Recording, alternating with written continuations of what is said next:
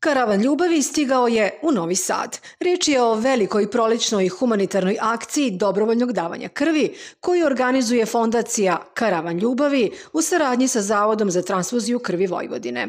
Ovu humanu akciju pokrenuli su mladi ljudi okupljeni oko fondacije Karavan ljubavi. Fondacija Karavan ljubavi je nastala iz želja nas nekolicine mladih da dobrovoljno davalaštvo i samu ideju podignemo na jedan viši nivo.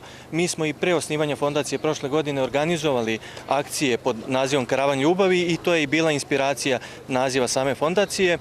E, naša ideja jeste podizanje svesti o dobrovoljnom davalaštvu, e, inspirisanje novih dobrovoljnih davalaca i nagrađivanje dobrovoljnih davalaca i samim tim, ovaj, da kažemo, saradnja između davalaca, institucija i nas kao, kao fondacije. Karavan ljubavi zapravo je i krenuo iz Novog Sada.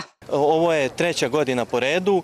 Ove godine smo od 22. do 28. aprila u Novom Sadu na dve lokacije u Zavodu za transfuziju krvi Vojvodine od ponedeljka do petka od 8 do 12 časova i u centru grada Novog Sada, pored katoličke porte, od ponedeljka do nedelje od 13 do 18 časova, te ovim, ovom prilikom pozivam sve građane da dođu i dobrovoljno daju krv.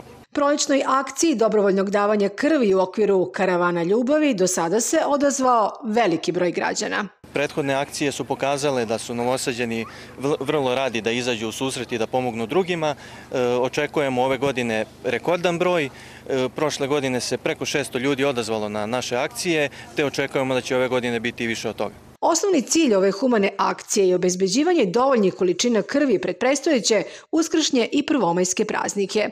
Ovom prilikom pozivamo sve koji žele i zdravstveno su sposobni da učestvuju u akciji i doniraju krv. Jedno davanje krvi spašava čak tri života.